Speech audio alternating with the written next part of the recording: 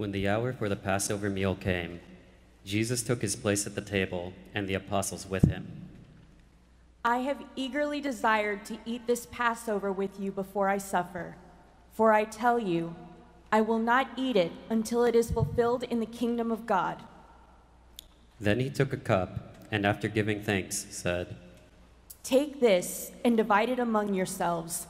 For I tell you that from now on I will not drink of the fruit of the vine until the kingdom of God comes. Then he took a loaf of bread, and when he had given thanks, he broke it and gave it to them. This is my body, which is given for you. Do this in remembrance of me.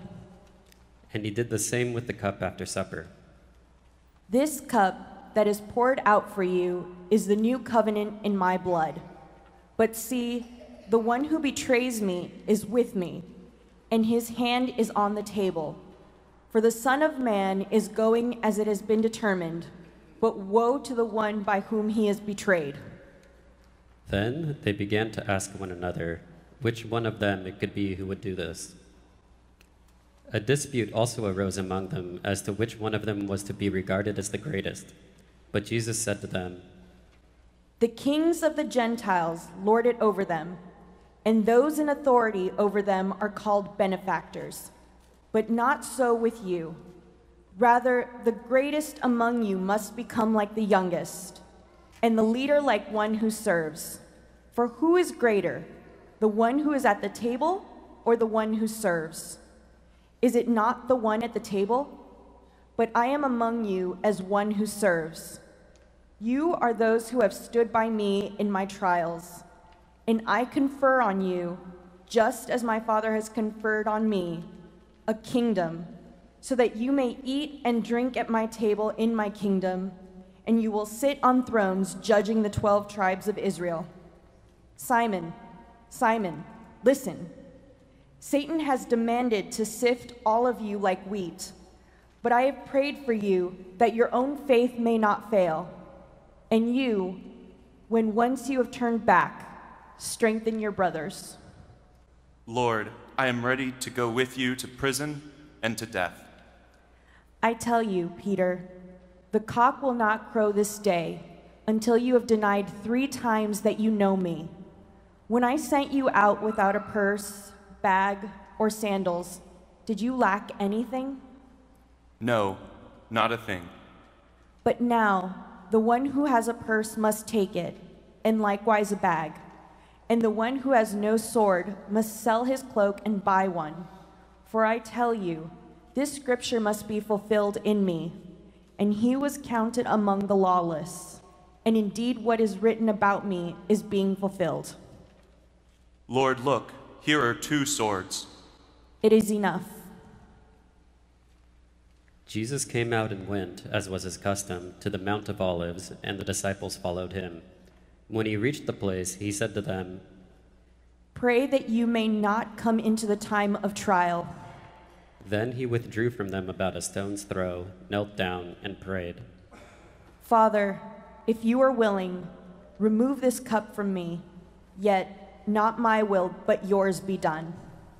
When he got up from prayer, he came to the disciples and found them sleeping because of grief. Why are you sleeping? Get up and pray that you may not come into the time of trial. While he was still speaking, suddenly a crowd came, and the one called Judas, one of the twelve, was leading them. He approached Jesus to kiss him. Judas, is it with a kiss that you are betraying the Son of Man? When those who were around him saw what was coming, they asked, Lord, should we strike with the sword? Then one of them struck the slave of the high priest and cut off his right ear. No more of this. And he touched his ear and healed him. Then Jesus said to the chief priests, the officers of the temple police, and the elders who had come for him, Have you come out with swords and clubs as if I were a bandit? When I was with you day after day in the temple, you did not lay hands on me. But this is your hour and the power of darkness.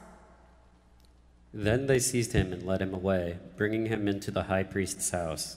But Peter was following at a distance. When they had kindled a fire in the middle of the courtyard and sat down together, Peter sat among them. Then a servant girl, seeing him in the firelight, stared at him. This man also was with him. Woman, I do not know him. A little later, someone else said, You also are one of them. Man, I am not. About an hour later, another kept insisting, Surely this man also was with him, for he is a Galilean. Man, I do not know what you are talking about. At that moment, a cock crowed. The Lord turned and looked at Peter. Then Peter remembered the word of the Lord Before the cock crows today, you will deny me three times. And Peter went out and wept bitterly. Now the men who were holding Jesus began to mock him and beat him. They also blindfolded him and kept asking him, Prophesy. Who is it that struck you? They kept heaping many other insults on him. When the day came, the assembly of the elders of the people, both chief priests and scribes, gathered together, and they brought him to their council. If you are the Messiah, tell us. If I tell you, you will not believe, and if I question you, you will not answer. But from now on, the Son of Man will be seated at the right hand of the power of God.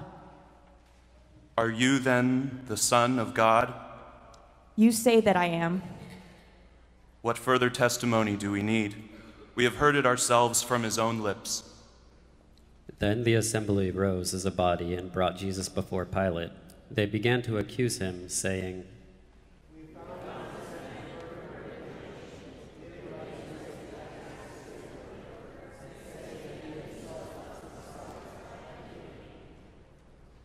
Are you the King of the Jews?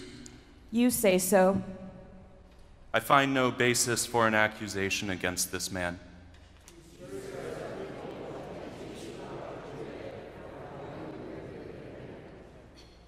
So he's a Galilean.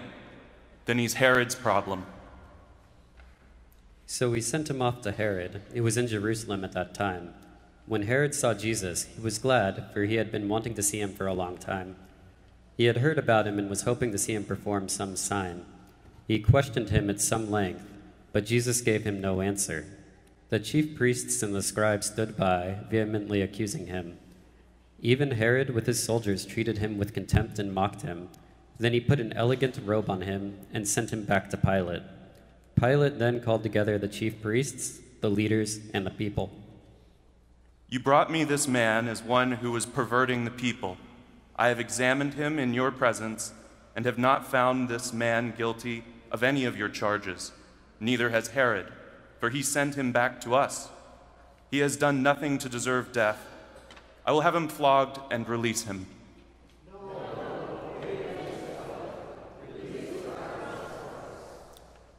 Barabbas was a man in prison for insurrection and for murder.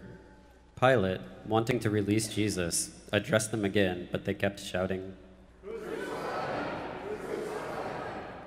Why? What evil has he done? I have found in him no ground for the sentence of death. I will therefore have him flogged and release him.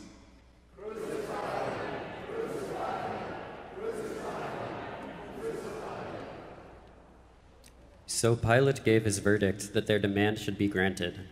He released the man they asked for, the one who had been put in prison for insurrection and murder, and he handed Jesus over as they wished.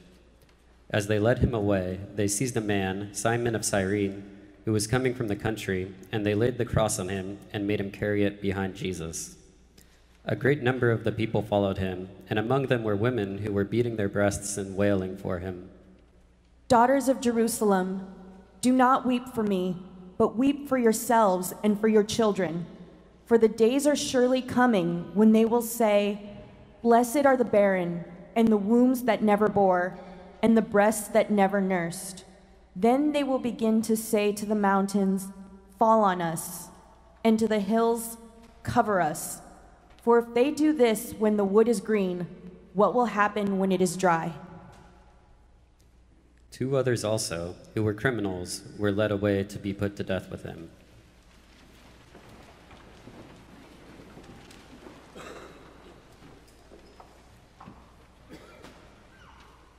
When they came to the place that is called the skull, they crucified Jesus there with the criminals, one on his right and one on his left.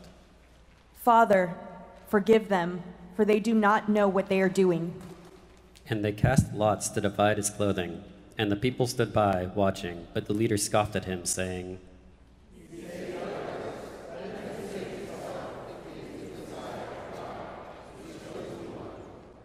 The soldiers also mocked him, coming up and offering him sour wine.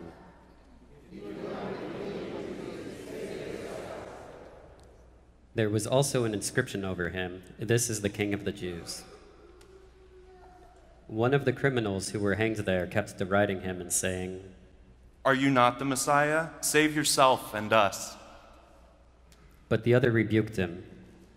Do you not fear God, since you are under the same sentence of condemnation? And we indeed have been condemned justly, for we are getting what we deserve for our deeds.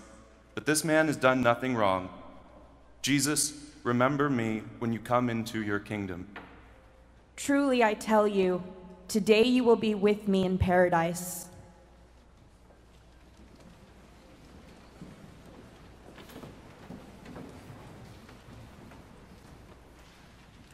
It was now about noon, and darkness came over the whole land until three in the afternoon, while the sun's light failed, and the curtain of the temple was torn in two.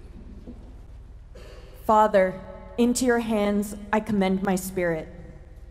Having said this, he breathed his last.